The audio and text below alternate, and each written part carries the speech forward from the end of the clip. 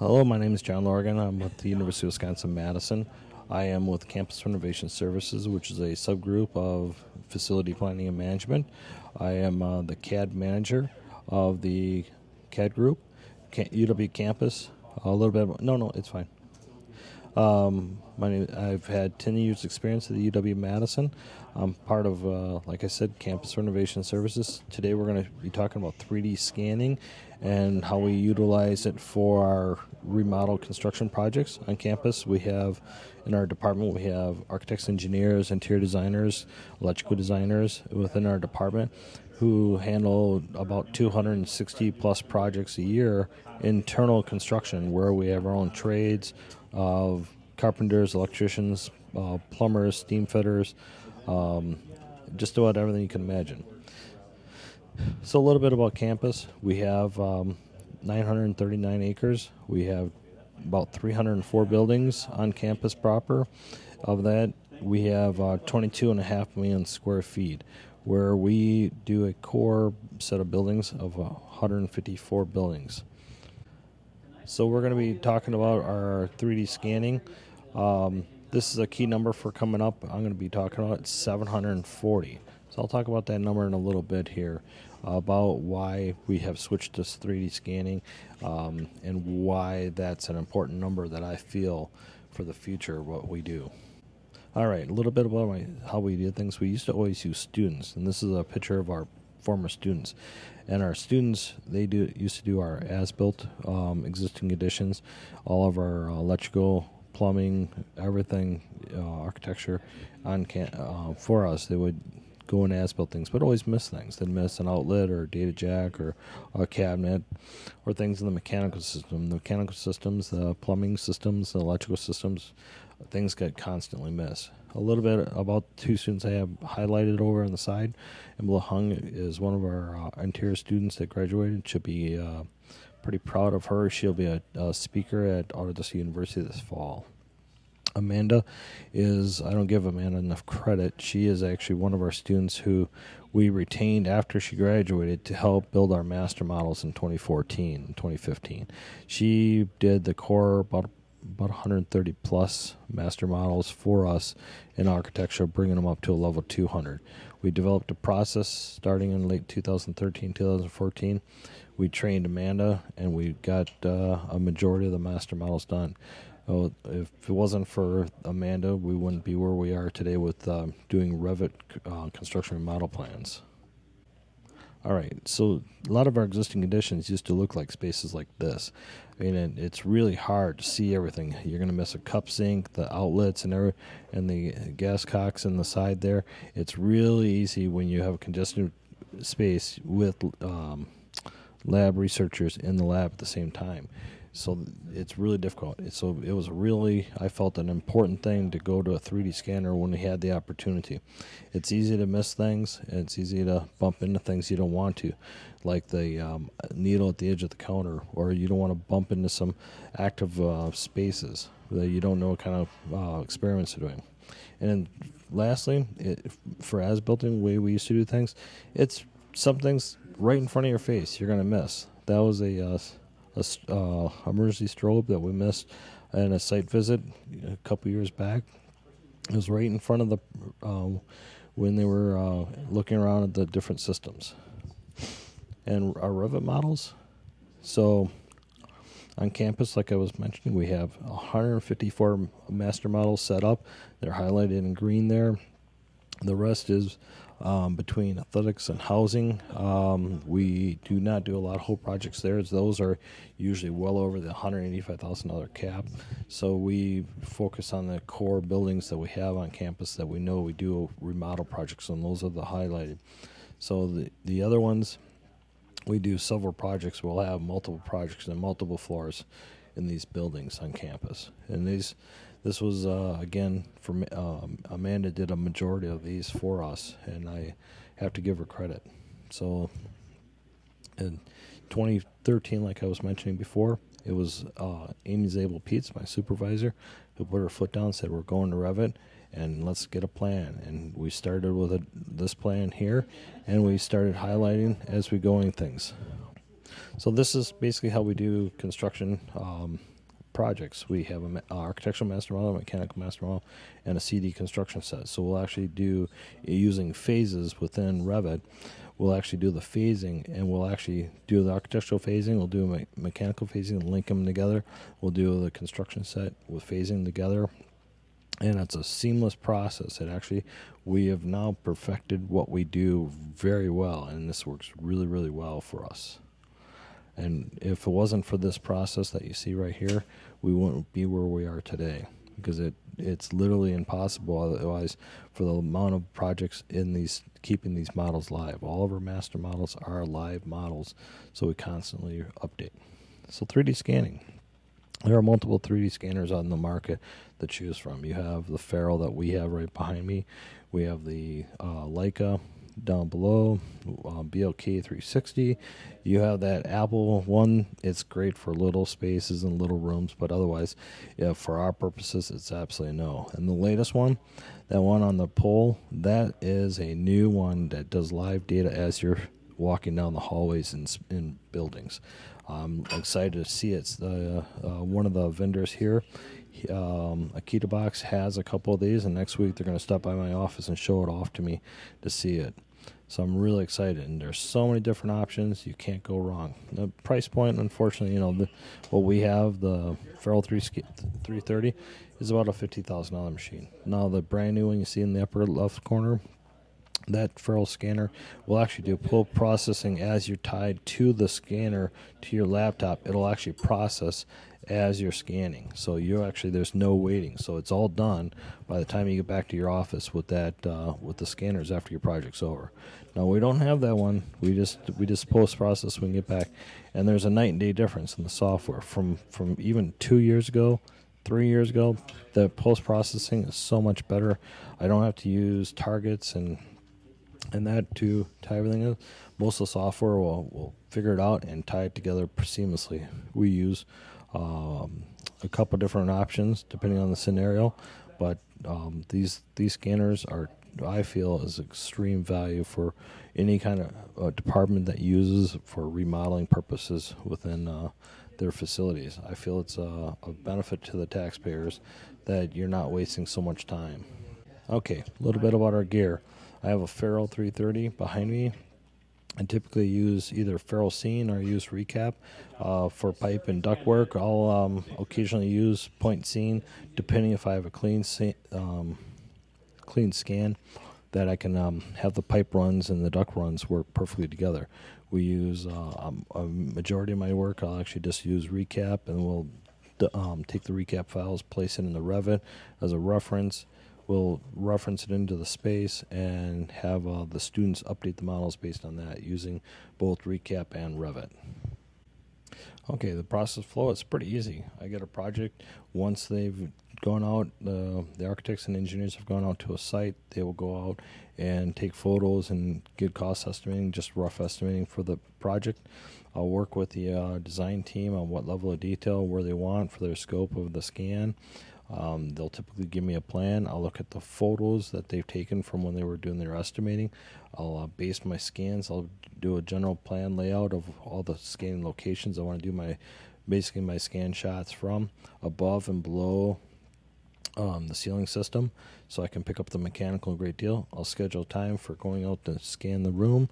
Uh, I'll perform the on site uh, scanning of the room. You know, probably one to four hours depending on the project. I've never had one more than run more than six hours on site between the uh, upper and lower half of the ceiling systems. I'll return, do the post processing, upload it into Revit, and on way. One of the key things to the scanner is making sure this thing's level. This thing's rather fussy, and I have to make sure it's level. So I'm always checking to make sure it's level. That's the one thing I don't like about this scanner, and it's one thing to be aware of when you're doing these that sometimes they can be rather fussy. This actually can be GPS or um, coordinate correct off satellites, so I can actually hit this thing on a satellite system. So I have my um, northing, easting, and my elevation setting to my local coordinate system perfectly. I don't do that because it, uh, it drives me nuts. So, so far this year, we've scanned 71 projects. The average one is between 2.4 and 4.2 gig uh, each data set for each building. It's not too bad for when you're talking, you know, one, 2,000 square foot spaces. Um, it works out pretty. It's a lot. It's a very data intense, but there's a trade off. I do one site visit. We don't have to do other ones. Okay, so in 2014, I uh, was proposed. We had a project that we are going to do 6,000 square foot. We're going to be moving from one group from one building for uh, and having to set up a lab in another building uh, as they remodel that building for um, uh, adding an addition. So we had to renovate this space in a rather timely manner, and so we're looking at a certain level of detail. So we hired a scanning service, and this was our first pilot project. The uh, scanning service did 71 shots for the day, which took probably about 12 hours of actual scan time for the level of detail in the areas that we were trying to reach around the space. So here's an illustration of all the shots that he did throughout the day. It was uh, rather exhausting. Now, today's standards, I would probably lower down to about six hours because of the level of detail I'd change it to after learning what we do and how things work. So here's a nice illustration of all the shots in the room with a nice high imagery of that space. So when you actually look back and you're looking at the scans, you can see all the different points throughout the area, all the uh, all the way we set up the the scanners. It works out really really well for what we do. And there's not missing anything. So, like I mentioned before, this is one of those sheets that I um, set up and I get a the project and I'll go out and I'll actually set up and I'll plan out all my shots throughout the space. And how we used to do things a couple years ago, very short time, we used to actually set up the targets in the room so I'd actually have control points throughout my shots um, of my scanning. Today, not needed. The, the software today automatically knows and recognizes where to merge the scan points together. It is a total game changer. I save so much time on not having to set up control points and having to go out and re-establish, um, set up all my targets and then have them take them down. I used to use a little ball sphere besides these targets right here in front of me. It's it has been a night and day difference. The software has come a long way in a very short time. Okay, this is one of my latest projects this spring um, that we had where I did the mechanical systems in, in a pretty good timely manner. So it was probably about three hours. So here's a scan image of it in 3D of, uh, after I post process it and recap. So you can kind of see what the imagery looks like outside the shell. And then here's the plan with the 3D scan and then another photo of above the ceiling mechanical systems. And I learned I learned to look at the mechanical plans to see where is the good access point? Like these kind of tiles, I do not like. I break these really easily. You know, these two by sixes, these are two by sixes, and they break real easily. The two by, I've actually had somewhere the two by eights, and it's like you're wobbling it, and it's like, ah, and they and they, they'll crack real easily. The, the two by twos are really nice, and that's what three quarters of campus is. But um, to figure out the right access points in a room to do my shots and not I don't have to open up the whole ceiling. It's just enough to let enough light in and do additional shots. So I've learned to do below and above the ceiling systems. So I'll do a transition. So right at the line, I'll do a shot to be able to transition my, my uh, scans together. And it works really well. I mean, I can zip along with this very fast. Um, and then I, once I've done it, I have my students just go and update the master models. And it's pretty darn easily done. I mean, it's, it's just that easy. This is almost done. I was gonna show you how high it actually goes. So, um, we, I rubber sheet the, uh, scans in. The students have been trained how to update the master models. Um, based off the scans, they'll, they can, they'll understand what's a, aligned and unlined. If it's, uh, if it's got insulation on the outside, they'll have to look at the uh, as-built to see what it should be, and they'll just kind of ballpark it. They're using the scans at that point as a center line alignment for the for the uh, utilities. So it works out really well. And then we get a we get an existing condition.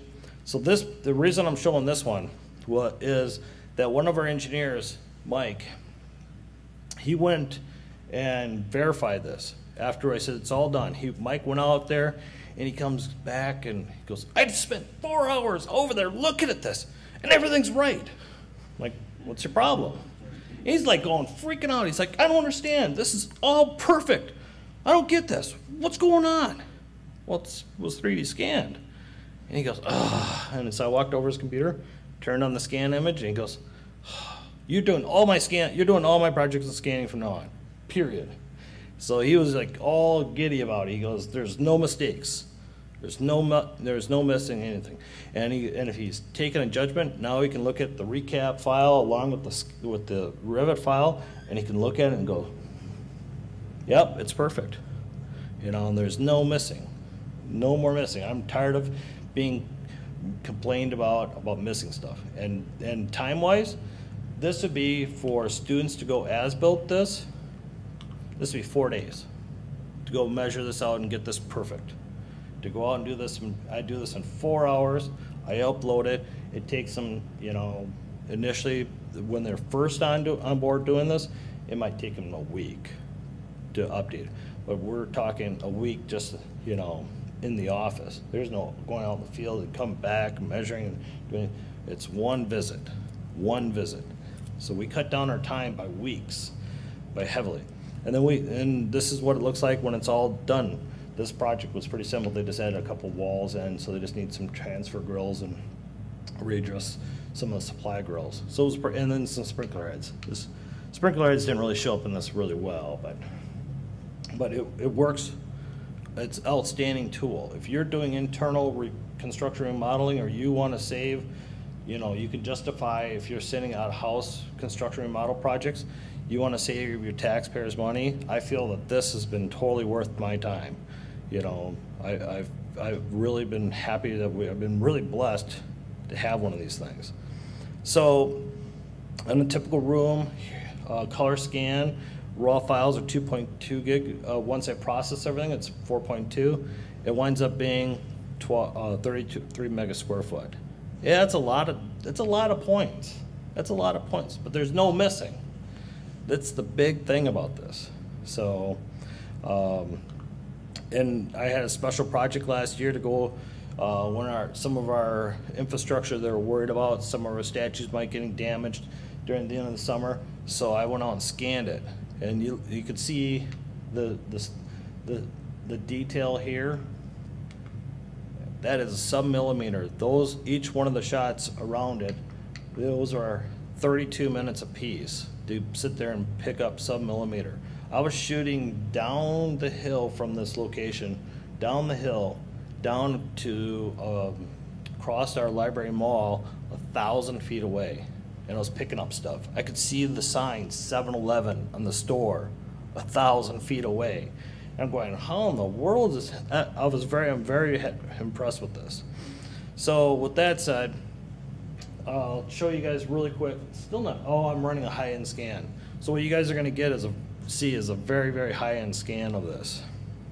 So with that said, uh, I'm gonna show you a little bit. Flip it over.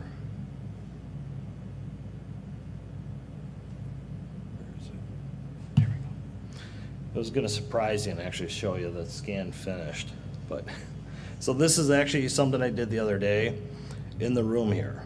So you can see the level of detail. This is with my um, high resolution camera on and there's no missing anything. It's pretty darn good in this room. So I came in here Monday after Monday night and scanned this in high definition color. Is it necessary for what we do? No. It's at, you know, I bought this scanner because I didn't want to miss anything for certain scans. Um, yeah, I want to do that, but for most of the time, I don't really need to do that. This is really hard to do with a laptop. So I I can I can barely pick up the numbers on this. So here we go. But you can see that the electrician who installed it, you can see how rough he was on the on the screws there. So it's too bad that I, I didn't do another shot over here because just it's just at the wrong angle for this. But I'll flip over to the other scan really quick. And this, this has been, as like I said, a serious game changer for us on time-wise. When I said that 740 hours, that was 740 hours.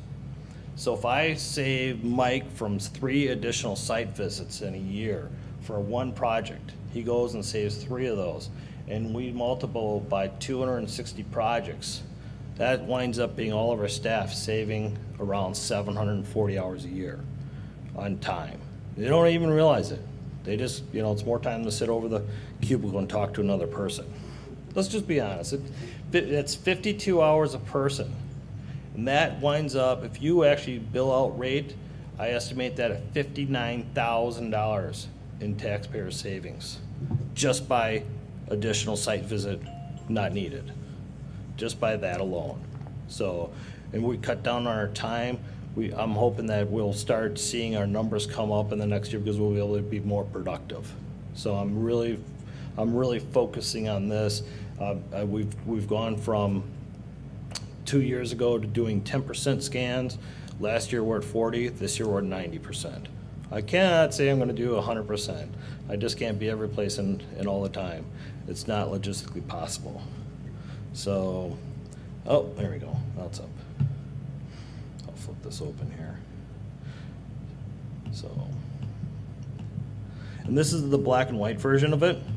And this is typically what I do, and it's good enough. It measures out. I can measure everything just fine like any other uh, space. So like I, like I was talking earlier, this little image here, you can see I walked around the room and I scoped out everything I needed to. And so I could see, oh, come on, come on. There we go. I can now see that data jack and that outlet over there. I can see that outlet there. So there's no missing anything. So we're, we're right on track. And I'll show you this really quick now this is done. So this thing was only 400 bucks. This is a great tool. I absolutely love having this.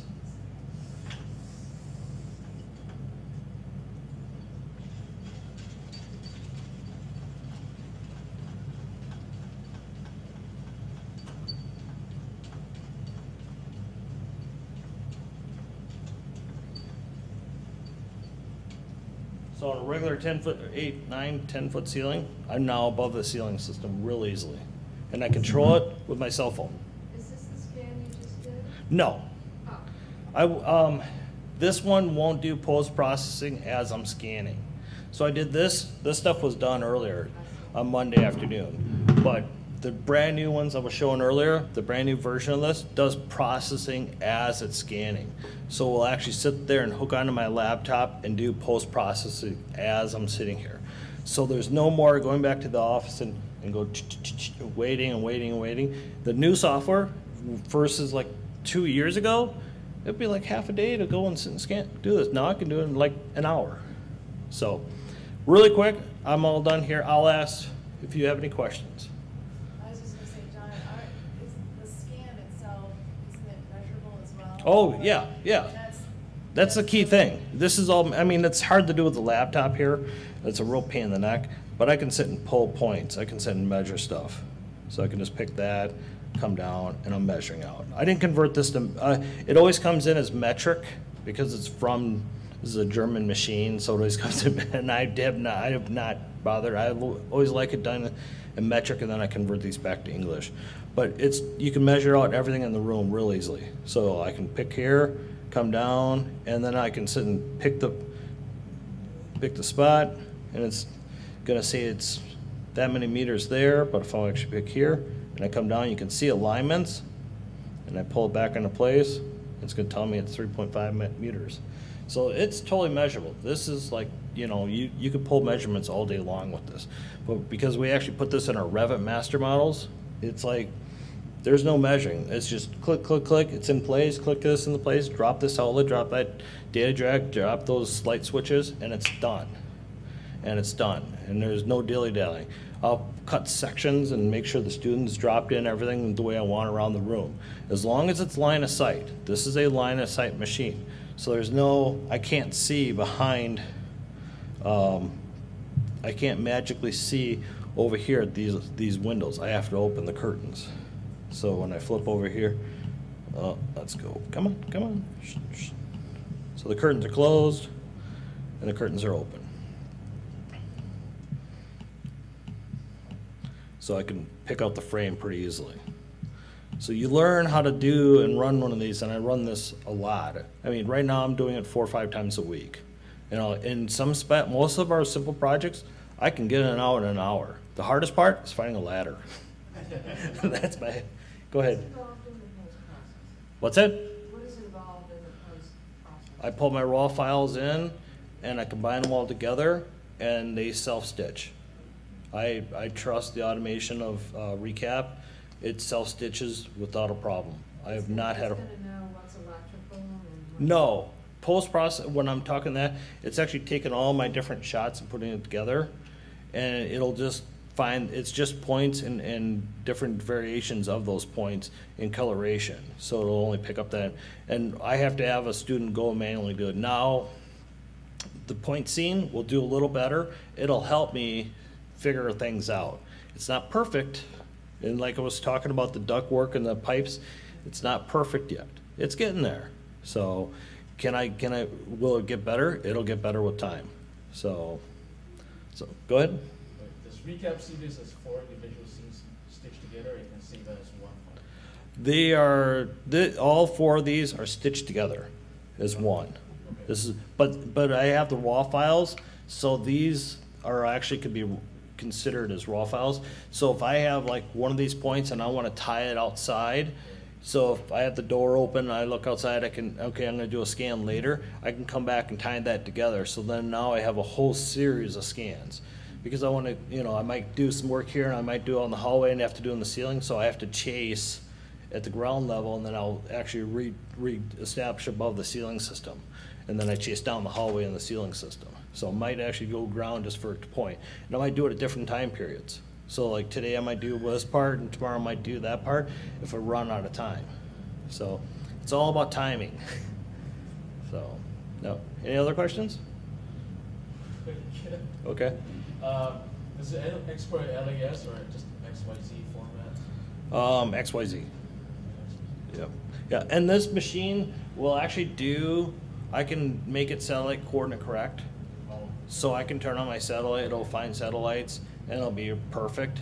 It'll actually be, it'll be perfect to our coordinate system in our area, and it set my elevation. It drives me nuts. I turn it off because it drives me nuts because I'm like at 900 feet. All of our scans that are, you know, all of our buildings that are, are at zero plus. We don't actually have our Revit master model at true elevations. We have not bothered to do that. We, we chose that early on not to do that because it's can be cumbersome. So it's been problematic that way. All right. So then when the students are dropping in the electrical, all that, that's just your Revit family? That's just a Revit family. Yep, just that's just our Revit families from our Revit, uh, from our Revit families. We we we literally that's a whole nother discussion how we do our construction. So when I when I was showing this earlier, Same thing, so it works for the designers when they're Yep. Yep. It's, it's, oh, let's go to this one. This, if you take away anything on how we do Revit, this is the one thing that you can take away, how we do things. We stitch everything together in references, and it works really well. Revit works that really well. And, and, and we use phases for our constructions, and yeah, we've had really good luck. So, yep. Okay.